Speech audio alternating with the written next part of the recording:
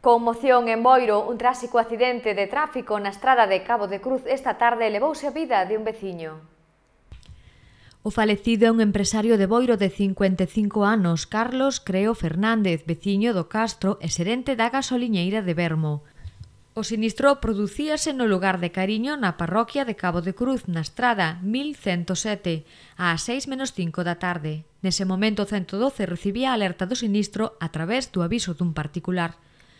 De inmediato, o 112 informou do ocorrido 061 urxencias sanitarias, a Garda Civil de Tráfico, aos bombeiros da localidade, a Policía Local e a Protección Civil.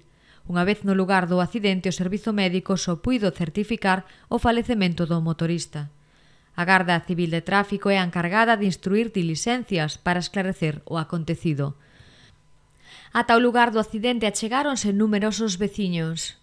O suceso causou unha gran conmoción en Boiro, onde a familia é moi coñecida e apreciada.